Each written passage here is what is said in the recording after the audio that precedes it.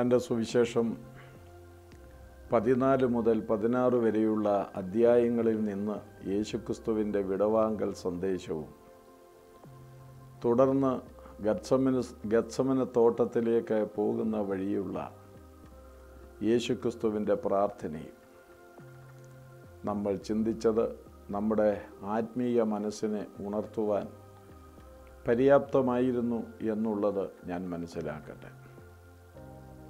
ഇതിന്റെ നോട്ടുകളൊക്കെ തയ്യാറാക്കിക്കൊണ്ടിരിക്കുമ്പോൾ എഴുതിക്കൊണ്ടിരിക്കുമ്പോൾ ആ വചനങ്ങളെല്ലാം തന്നെ എന്റെ ഹൃദയത്തെ നന്നായി ചലിപ്പിച്ചിട്ടുണ്ട്. ചില സ്ഥാനങ്ങളിൽ എന്റെ ഹൃദയത്തെ തകർത്തിട്ടുണ്ട് കണ്ണുകൾ നനയിപ്പിച്ചിട്ടുണ്ട്. നിങ്ങൾക്കും ഈ പഠനം അങ്ങനെയൊക്കെ ഉപകരിക്കാൻ ഇടവരണം എന്നുള്ളതാണ് ഞങ്ങളുടെ താല്പര്യം. ഇനിയും തുടർന്ന് നമ്മൾ ചിന്തിക്കുന്നത് യേശു ഗത്സമനയിൽ എന്ന തലക്കെട്ടോടു കൂടിയാണ് ടോപ്പിക്കോടു കൂടിയാണ്. ഗത്സമന എന്നതിന്റെ അർത്ഥം എണ്ണച്ചക്ക് എന്നാണ്. ഗത്സമന കെദ്രോൻ തോട്ടിന് അക്കരെയാണ് യോഹന്നാൻ പതിനെട്ടിന്റെ ഒന്നാം വാക്യം. ഈ തോടിന് തന്നെയാണ് കിദ്രോൻ എന്ന് പറയുന്നത്. ഇവിടെ കെദ്രോൻ എന്ന് പറയുന്നിടത്ത് മറ്റ് ചിലയിടത്ത് കിദ്രോൻ തോട് എന്ന് പറയുന്നു. ഇത് രണ്ടും ഒന്ന് തന്നെയാണ്. എരിശിലയും മലയ്ക്കും ഒലുവ് മലയ്ക്കും മധ്യയുള്ള താഴ്വരയാണ് ഖദ്രോൻ എന്ന് പറയുന്ന ഈ വാലി ഈ താഴ്വര. വർഷകാലത്ത് ഇതിലൂടെ ഒരു തോട് ഒഴുകുന്നുണ്ടാവും.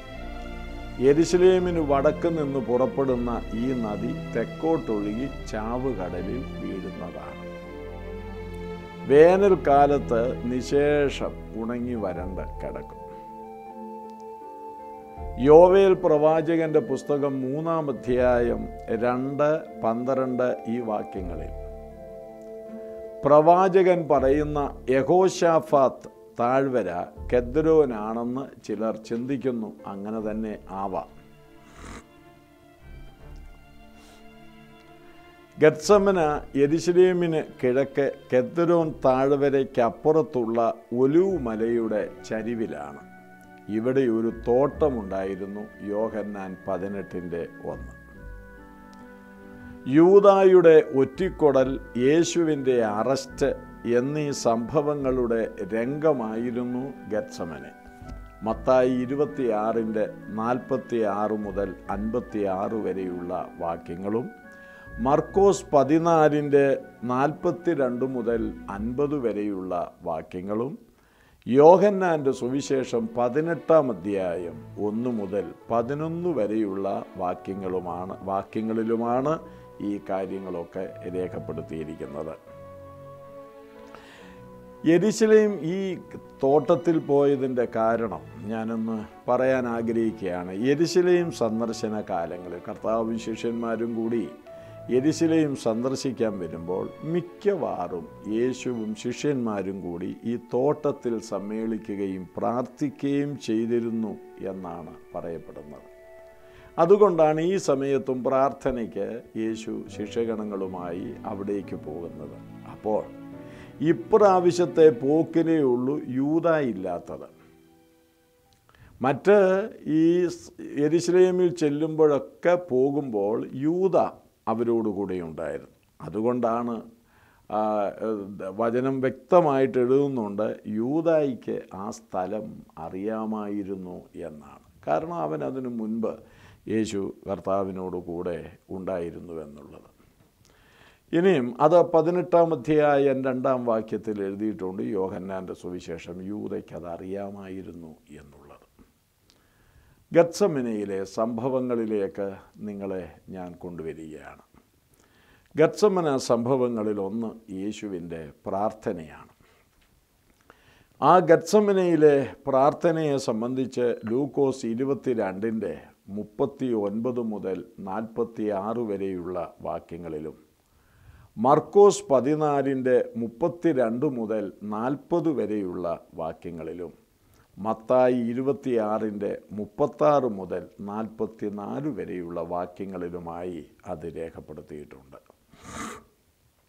യേശുക്രിസ്തു ഈ പതിനൊന്ന് ശിഷ്യഗണങ്ങളുമായി ഈ തോട്ടത്തിലേക്ക് പോകുമ്പോൾ തോട്ടത്തിന്റെ പ്രവാ പ്രവേശന കവാടത്തിലെത്തിയപ്പോൾ ഇവിടെ ഇരിപ്പീൻ എന്ന് പറഞ്ഞ് അതിലെട്ടു പേരെ അവിടെ വിട്ടിട്ട് പത്രോസ് യാക്കോബ് യോഹന്നാൻ ഇവരെയും കൂട്ടിക്കൊണ്ട് കുറേ കൂടെ മുമ്പോട്ട് പോയി.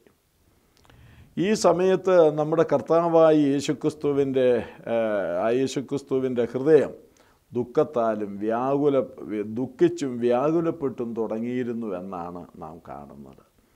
പ്രിയപ്പെട്ടവരെ ദൈവപുത്രൻ ന്യായവിധിയോട് അടുത്തുകൊണ്ടിരിക്കുക മന മാനവജാതിയുടെ ശിക്ഷാവിധിയുടെ അല്ലെങ്കിൽ ദൈവത്തിന്റെ കോപത്തിന്റെ പാനപാത്രം കുടിക്കാൻ ഇരിക്കുക താന് ആ സമയത്ത് അവിടുത്തെ ഹൃദയം ദുഃഖിച്ചും വ്യാകുലപ്പെട്ടും തുടങ്ങി എന്ന് വായിക്കുന്നു. ഇവിടെ നാം ഓർക്കേണ്ടത് തുടങ്ങി എന്ന ആ പ്രയോഗം അവസാനിക്കുന്നതല്ലല്ലോ. അത് വർദ്ധിതമായി കൊണ്ടിരുന്നു എന്നുള്ളതാണ്. അത് വർദ്ധിച്ചു എന്നാണ് മനസ്സിലാക്കാൻ കഴിയുന്നത്. അതുകൊണ്ട് അവിടുന്ന് പറയുന്നത് എന്റെ ഉള്ളം മരണവേദന പോലെ അതിദുഃഖിതമായിരിക്കുന്നു. ഇവിടെ താമസിച്ച് എന്നോടുകൂടെ ഉണർന്നിരിപ്പീൻ എന്ന് ശിഷ്യന്മാരോട് പറഞ്ഞു. നോക്കൂ ഹൃദയം ദുഃഖിച്ചും വ്യാകുലപ്പെട്ടും ഇരിക്കുന്നു. അത് വർദ്ധിതമായിക്കൊണ്ടിരിക്കുന്നു. ഉള്ള മരണവേദന പോലെ അതിദുഃഖിതമായിരിക്കുന്നു. അപ്പോൾ കൂടെ വേറെ ആരുമില്ലല്ലോ? യേശു കർത്താവിന്. ഈ പ ഈ മൂന്ന് പേരാണ് അവരെയും കൊണ്ടാണ് പോയിരിക്കുന്നത്. ആ മൂന്ന് പേരോട് പറയുകയാണ് നിങ്ങൾ ഉണർന്ന് ഇവിടെ തന്നെ ഇരിപ്പീൻ. അവരോട് പറയുന്നു എന്റെ ഉള്ള മരണവേദന പോലെ അതിദുഃഖിതമായിരിക്കുന്നു എന്ന് പറയുന്ന ഒരു സന്ദർഭമാണ്. ഇവിടെ താമസിച്ച് എന്നോടുകൂടെ ഉണർന്നിരിപ്പീൻ എന്നവരോട് പറഞ്ഞിട്ട് ഒരു കല്ലേറ് ദൂരത്തോളം വാങ്ങിപ്പോയി. ഒരു കല്ലേറ് ദൂരത്തോളം വാങ്ങിപ്പോയിട്ട് അവിടെ മുമ്പോട്ട് ചെന്ന് കവിണ്ണ് വീണതായി നാം വായിക്കുന്നു. കവിണ്ണ് വീണു. മത്തായി സുവിശേഷം ഇരുപത്തിയാറാം അധ്യായം മുപ്പത്തൊമ്പതാം വാക്യത്തിൽ നാം അത് കാണും. അല്പം മുമ്പോട്ട് എന്ന് നിലത്തു വീണു എന്ന് മർക്കോസ് പതിനാലിന്റെ മുപ്പത്തിയഞ്ചിൽ പറയുന്നു. മത്തായി പറയുമ്പോൾ അല്പം മുമ്പോട്ട് എന്ന് കവിണ്ണു വീണെന്നും. മർക്കോസ് രേഖപ്പെടുത്തുമ്പോൾ അല്പം മുമ്പോട്ട് എന്ന് നിലത്തു വീണുവെന്നും. ഇനിയും ലൂക്കോസ് ഇരുപത്തിരണ്ടിന്റെ നാൽപ്പത്തൊന്നിൽ പറയുമ്പോൾ മുട്ടുകുത്തിയെന്നും കാണും.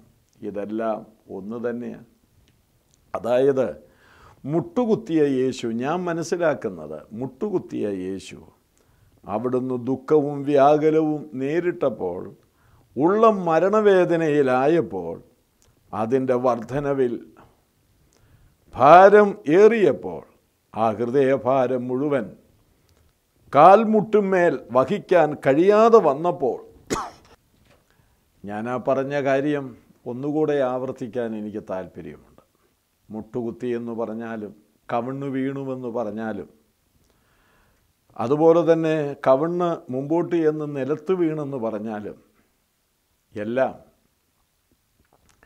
ഓരോ സന്ദർഭങ്ങളിലായി വന്ന മാറ്റമാണ് കാണാൻ കഴിയുന്നത്. നിശ്ചയമായും ആദ്യം ചെന്നുടൻ തന്നെ അവിടുന്ന് മുട്ടുകുത്തി പ്രാർത്ഥിച്ചിട്ടുണ്ട് എന്ന് ഞാൻ കരുതുന്നു. എന്നാൽ ഹൃദയത്തിന്റെ ഭാരവും ഉള്ളത്തിലെ മരണവേദനയും വർദ്ധിതമായപ്പോൾ ആ ഹൃദയഭാരം മുഴുവൻ കാൽമുട്ടിൽ താങ്ങാൻ കഴിയാതെ ദൈവപുത്രൻ നിലത്ത് മുട്ടുമാർ കവിണ്ണു വീണു എന്ന് ഞാനങ്ങ് ചിന്തിച്ചു പോവുകയാണ് ചെയ്യുന്നത്.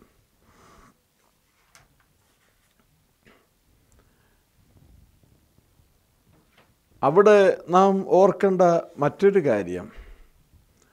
ആ കവിണ്ണു വീണ സമയത്ത് ആംഗ്ലേയ പരിഭാഷ അഥവാ ഇംഗ്ലീഷ് പരിഭാഷ പരിശോധിക്കുമ്പോൾ അവിടുത്തെ മുഖം നിലത്തുമുട്ടി എന്നാണ് നമുക്ക് വായിക്കാൻ കഴിയുന്നത്. ആകാശവും ഭൂമിയും സൃഷ്ടിച്ച അവിടുന്ന് മാനവജാതിയുടെ പാപത്തെ ചുമക്കുന്ന ആ സമയത്ത് വഹിക്കുന്ന ആ സമയത്ത് അത് താങ്ങാൻ കഴിയാതെ മുട്ടിന്മേൽ ആ ഭാരം വഹിക്കാൻ കഴിയാതെ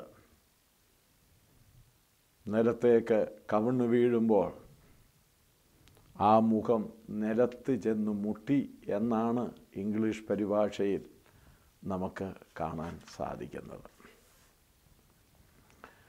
എന്നിട്ട് ആ കടപ്പിൽ അവിടെ കിടന്ന് പ്രാർത്ഥിക്കുന്നത് എന്താ പിതാവേ കഴിയുമെങ്കിൽ ഈ പാനപാത്രം എങ്കിൽ നിന്ന് നീങ്ങിപ്പോകണമേ. ലൂക്കോസ് ഇരുപത്തിരണ്ടിന്റെ നാൽപ്പത്തിരണ്ടിൽ പറയുന്നത് മനസ്സുണ്ടെങ്കിൽ നിനക്ക് പിതാവേ മനസ്സുണ്ടെങ്കിൽ അല്ലാത്തടത്ത് കഴിയുമെങ്കിലെന്നാണ്. മനസ്സുണ്ടെങ്കിൽ ഈ പാനപാത്രം എങ്കിൽ നിന്ന് നീങ്ങിപ്പോകണം. എങ്കിലും എന്റെ ഇഷ്ടമല്ല നിന്റെ ഇഷ്ടം തന്നെ ആകട്ടെ എന്ന് പ്രാർത്ഥിച്ചു. ഇവിടെ നമ്മൾ മനസ്സിലാക്കേണ്ട ഒരു യാഥാർത്ഥ്യമുണ്ട്. ഏത് പാനപാത്രമാ മാറിപ്പോകണം എന്ന് ആഗ്രഹിച്ചത് ആഗ്രഹിച്ച പാനപാത്രം ക്രൂശായിരുന്നോ? ഞാൻ വിശ്വസിക്കുന്നു നിശ്ചയമായോ അല്ല. കാരണം അതിനു വേണ്ടിയല്ലേ അവിടുന്ന് ഈ ഭൂമിയിലേക്ക് വന്നത്. ശിക്ഷഗണങ്ങളുമായി നടക്കുന്ന സമയങ്ങളിലെല്ലാം ആവർത്തിച്ച് ആവർത്തിച്ച് അവരെന്നെ ക്രൂശിക്കും. ഞാൻ മൂന്നാം നാൾ ഉയർത്തെഴുന്നേൽക്കുമെന്ന് പറഞ്ഞതല്ലേ? മനുഷ്യപുത്രൻ ശുശ്രൂഷ ചെയ്യിപ്പാനല്ല ശുശ്രൂഷിക്കുവാനും മറുവിലയായി ജീവനെ കൊടുപ്പാനും അത്രേ വന്നത് എന്ന് പറഞ്ഞില്ലേ? അപ്പം നിശ്ചയമായും ആ പാനപാത്രം ക്രൂശ് മരണമല്ലായിരുന്നുവെന്നാണ് മനസ്സിലാക്കേണ്ടത്. കാരണം ഞാൻ ഓർപ്പിച്ചതുപോലെ അതിനായിട്ടാണല്ലോ അവിടുന്ന് വന്നത്. മർക്കോസ് പത്തിന്റെ നാൽപ്പത്തഞ്ച് യോഹന്നാൻ പത്തിന്റെ പത്തും പതിനൊന്നും വാക്യങ്ങൾ അത് വ്യക്തമാക്കുന്നുണ്ട്. തന്നെയല്ല എബ്രായ ലേഖനം പന്ത്രണ്ടിന്റെ രണ്ട് വായിക്കുമ്പോൾ യേശു തന്റെ മുൻപിലുള്ള സന്തോഷം ഓർത്ത് ഏ, അപമാനം അലക്ഷ്യമാക്കി ക്രൂശിനെ സഹിച്ചെന്നല്ലേ വായിക്കുന്നത്? സന്തോഷത്തോടാണ് ചെയ്തത്. വേദനയുണ്ട് പക്ഷേ അവിടെ സന്തോഷമുണ്ട്. മുൻപിലൊരു സന്തോഷം. അത് സഭയാണ് ഞാനും നിങ്ങളുമാണ്. പിന്നെന്താണ് നീങ്ങിപ്പോകാൻ ആഗ്രഹിച്ച പാനപാത്രം? ശ്രദ്ധിക്കണേ. അവിടെ ഉദ്ദേശിച്ചത് ഇതാ. പാപമറിയാത്ത പരിശുദ്ധൻ പാപമാക്കപ്പെടാൻ പോകുന്ന അതാണ് ആ പാനപാത്രം. അത് ഓർത്തിട്ട് തനിക്ക് സഹിക്കാൻ പറ്റുന്നില്ല. തന്റെ ഹൃദയം തകരുകയാണ് അതിദുഃഖിതമാകുകയാണ്. കാരണം അതിപരിശുദ്ധനായവനിലേക്ക് ഈ പാപം മുഴുവൻ അങ്ങോട്ട് ചെല്ലുകല്ലേ? അല്ലേ? അത് തനിക്ക് ഓർക്കാൻ പാപമില്ലാത്ത ദൈവപുത്രൻ സകല മനുഷ്യരുടെയും പാപം അവിടുത്തെ പരിശുദ്ധ മേനിയിൽ ചുമക്കുന്ന അല്ലെങ്കിൽ ചുമത്തപ്പെടുന്ന അതിഭയങ്കരമായ ഒരു വേളയത്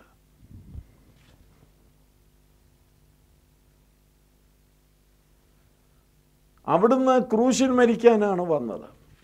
പക്ഷേ പരിശുദ്ധനായവന്റെ ശരീരത്തിലേക്ക് ലോകത്തിലെ സകല മനുഷ്യരുടെയും പാപത്തെ അങ്ങോട്ട് ചുമത്തുക എന്ന് പറയുന്നത് എത്ര കഠിനമായ ഒരു അനുഭവം തന്നെയാണെന്നുള്ളത് ഞാൻ പറയാതെ നിങ്ങൾക്കറിയാമല്ലോ. പ്രവചനാത്മാവിൽ യശയാവ് അത് സംബന്ധിച്ച് എന്താ പറഞ്ഞത്? യഹോവ നമ്മുടെ എല്ലാവരുടെയും അകൃത്യം അവന്റെ മേൽ ചുമത്തി എന്നാണ്. യശയ അൻപത്തി മൂന്നാം അധ്യായം ആറാം വാക്യം. നമുക്കിതൊക്കെ വായിച്ചു പോകാൻ വളരെ എളുപ്പമാണ്. നമ്മുടെ എല്ലാവരുടെയും അകൃത്യം യഹോവ അവന്റെ മേൽ ചുമത്തി യേശു കർത്താവിന്റെ മേൽ ചുമത്തി. യോഹന്നാന്റെ സുവിശേഷം ഒന്നാം അധ്യായം ഇരുപത്തിയൊമ്പതിൽ എന്താ വരുന്നത്? കടന്നു വരുന്ന യേശുവിനെ നോക്കിയിട്ട് യോഹന്നാൻ സ്നാപകൻ വിളിച്ചു പറയുക ഇതാ ലോകത്തിന്റെ പാപത്തെ ചുമക്കുന്ന ദൈവത്തിന്റെ കുഞ്ഞാട്. ലോകത്തിന്റെ പാപം മുഴുവൻ പാപമറിയാത്തവന്റെ മേൽ ചുമത്തപ്പെട്ടു. പത്രോസ് എന്താ പറയുന്നത്? ഒന്ന് പത്രോസ് രണ്ടിന്റെ ഇരുപത്തിനാല്. പാപം ചുമന്നുകൊണ്ട് കുരിശിൽ കടക്കുന്ന യേശുവിനെ ദർശിച്ചുകൊണ്ട് അദ്ദേഹം പറയുകയാണ് നാം പാപ സംബന്ധിച്ച് മരിച്ച് നീതിക്ക് ജീവിക്കേണ്ടതിന് അവൻ തന്റെ ശരീരത്തിൽ നമ്മുടെ പാപങ്ങളെ ചുമന്നുകൊണ്ട് ക്രൂശിന്മേൽ കയറി.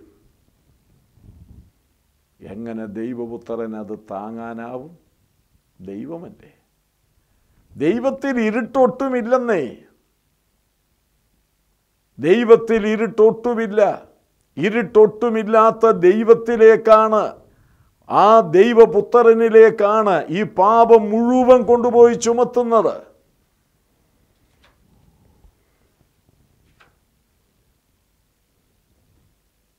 സകലത്തിന്റെയും സൃഷ്ടാവും നാഥനുമായ പരിശുദ്ധൻ. അവിടുത്തെ സൃഷ്ടിയുടെ മകുടമായ മനുഷ്യന്റെ പാപം തന്നിലേക്ക് ഉരുണ്ടുകൂടുന്ന രംഗം. ഓ ഉരുണ്ടുകൂടുന്ന രംഗം. നിങ്ങൾ ഓർക്കേണ്ട ഒരു കാര്യം ക്രിസ്തുവിന് മുൻപുള്ളവരുടെയും ക്രിസ്തുവിന് ശേഷമുള്ളവരുടെയും അതിനുശേഷം ജനിച്ചവരുടെയും ക്രിസ്തുവിന്റെ തലമുറയിലുള്ളവരുടെയും ഇനിയും നമ്മുടെ ഈ തലമുറ കഴിഞ്ഞ് ജനിക്കാനുള്ളവരുടെയും അങ്ങനെ എല്ലാവരുടെയും കൂടെ പാപമാണ് കുമിഞ്ഞുകൂടിയത്. ഓ എങ്ങനെ പ്രാർത്ഥിക്കാതിരിക്കും? കഴിയുമെങ്കിൽ ഈ പാനപാത്രം എങ്കിൽ നിന്ന് നീങ്ങിപ്പോകണം. കാരണം ഇത് അവിടുത്തെ വിശുദ്ധിക്ക് ചേർന്ന കാര്യമല്ല. അവിടുത്തെ വിശുദ്ധിക്ക് ചേർന്ന കാര്യമല്ല. യഹോവ പാറ അവനിൽ നീതികേടില്ലെന്നാണ് തിരുവഴുത്തിൽ എഴുതിയിരിക്കുന്നത്. അവനിൽ പാപമില്ല എന്നാണ് എഴുതിയിരിക്കുന്നത്. അപ്പോൾ ഏതൊരുവനെ നോക്കി പാപമില്ല പാപം ചെയ്തില്ലെന്ന് പറഞ്ഞാൽ മനസ്സിലാക്കാം. പാപം ഇല്ല. പാപം ഇല്ലാത്ത ആ പരിശുദ്ധന്റെ മേൽ പാപം ചുമത്തുക എന്ന് പറയുന്നത് അവിടുത്തെ വിശുദ്ധിക്ക് ചേർന്നതല്ലല്ലോ. അതാണ് യേശു പറഞ്ഞ ആ പാനപാത്രം എന്നുള്ളത്.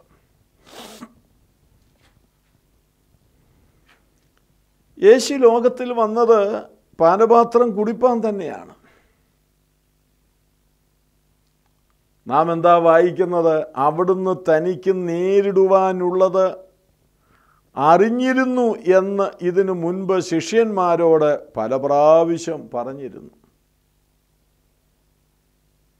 തനിക്കെല്ലാം അറിയാം നേരിടാൻ പോകുന്നതൊക്കെ തനിക്കറിയാം. പക്ഷേ പരിശുദ്ധന പരിശുദ്ധനായവനിലേക്ക് ലോകത്തിന്റെ സകല പാപവും ചുമത്തപ്പെടുന്ന ആ ഒരു സമയം വളരെ വേദനയോടുകൂടിയാണ് അവിടുന്ന് ഓർക്കുന്നത്. അതിനാൽ അരുമനാഥൻ ദുഃഖിച്ചു വ്യാകുലപ്പെട്ടു. അവിടുത്തെ ഉള്ളം അതിദുഃഖിതമായി. യശയാവ് അത് സംബന്ധിച്ചെന്താ പറയുന്നത്? അവിടുന്ന് വ്യസന പാത്രമായി മാൻ ഓഫ് സോറോസ് വ്യസനപാത്രമായി രോഗം ശീലിച്ചവനായി അഥവാ ദുഃഖം ശീലിച്ചവനായി. ഇരുന്നുവെന്നാണ് മഹാനായ ടാഗോർ അദ്ദേഹത്തിന്റെ ഗീതാജ്ഞലിയിൽ പറഞ്ഞിരിക്കുന്നത് എന്താണെന്നറിയണ്ടേ നിങ്ങൾ? അദ്ദേഹം പറയുന്നത് ഇങ്ങനെയാ നമ്മുടെ കർത്താവ് സസന്തോഷം സ്വയം അവന്റെ മേൽ സൃഷ്ടിയുടെ കെട്ടുപാട് ഏറ്റെടുത്തു എന്നുള്ളതാണ്. നല്ലൊരു പ്രസ്താവനയല്ലേ അത്? ആ ഉൾക്കാഴ്ചയിൽ നിന്ന് എഴുതിയതല്ലേ അത്?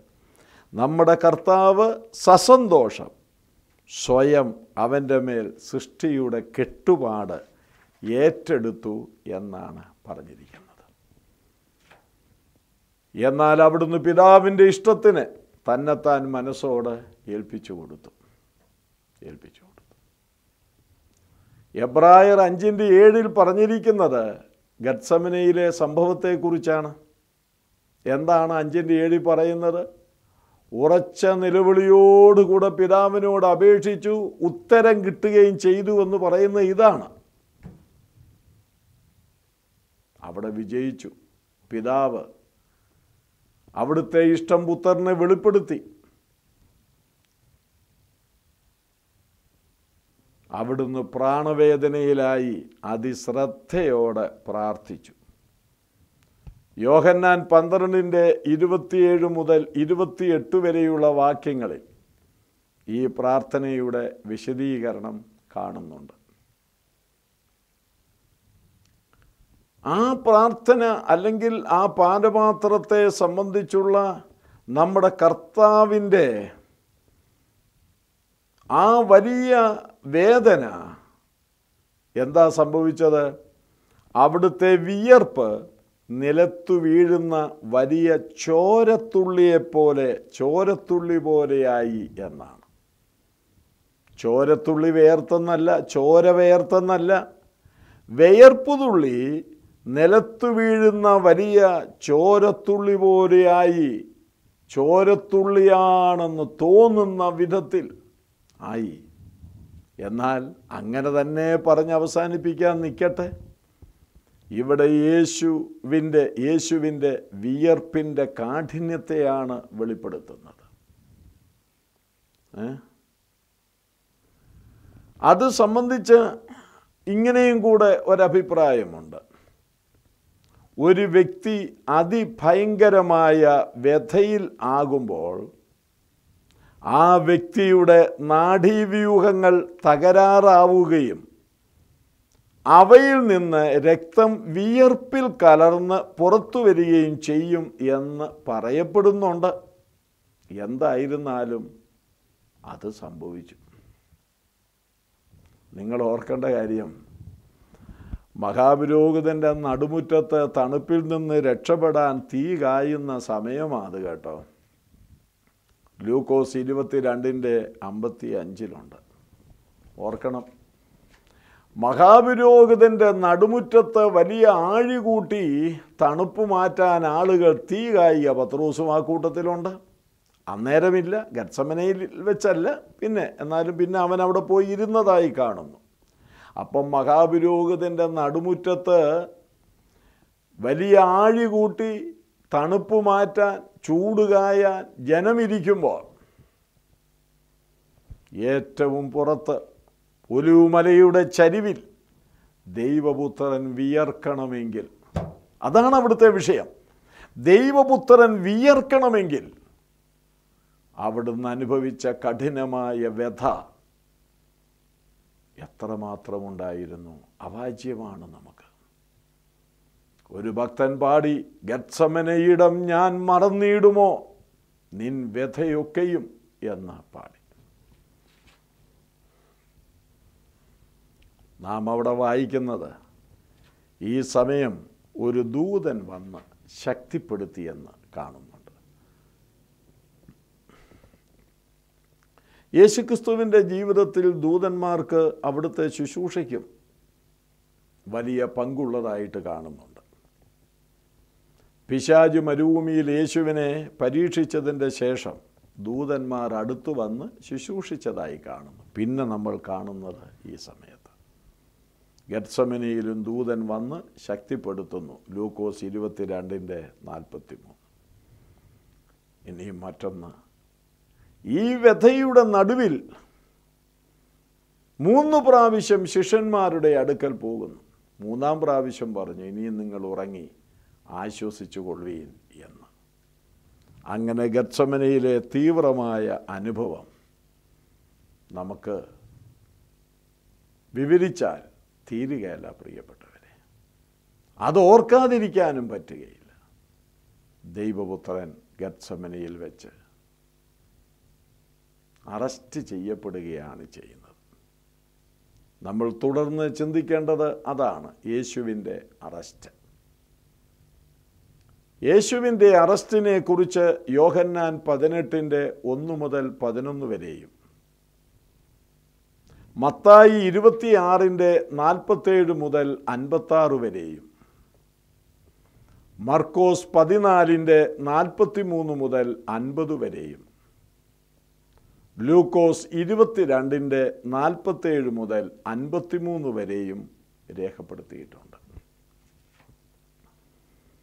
എപ്പോഴായിരുന്നു അറസ്റ്റ്?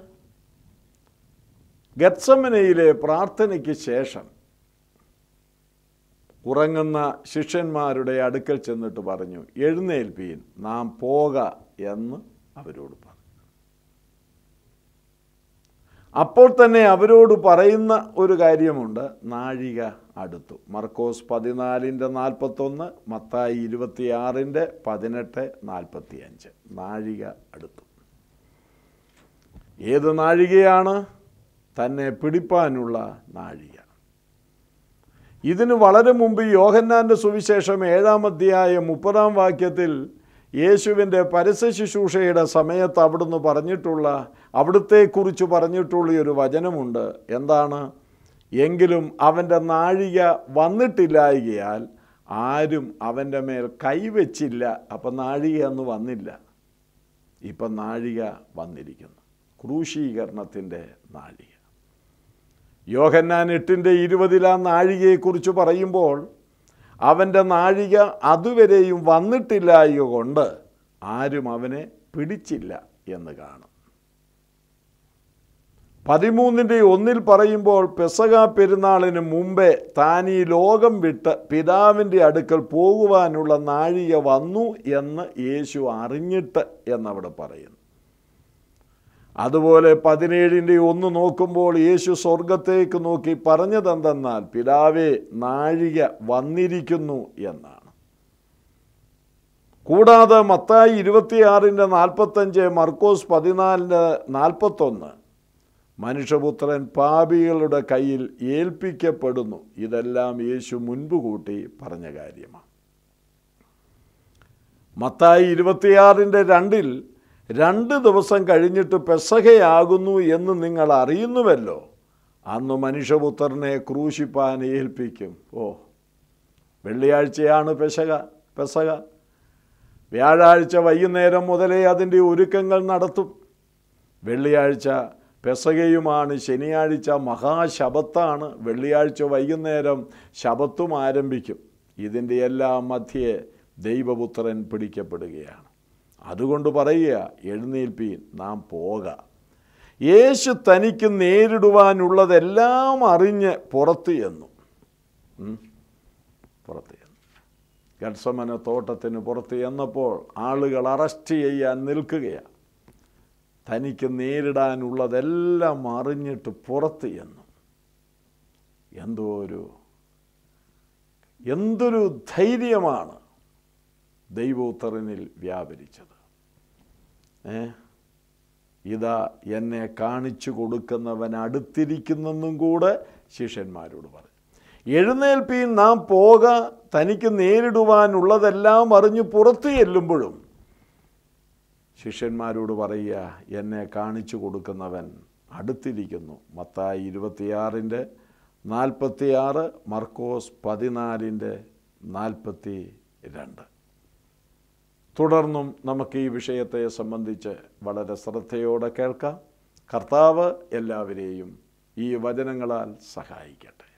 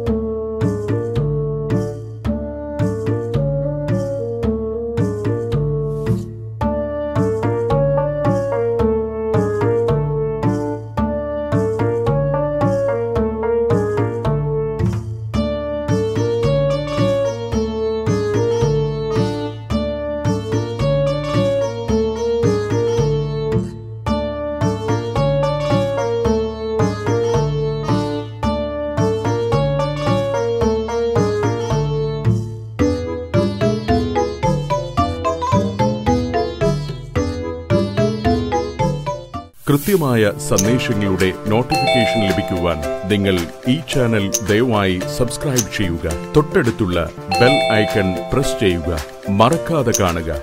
ദൈവം നിങ്ങളെ അനുഗ്രഹിക്കട്ടെ.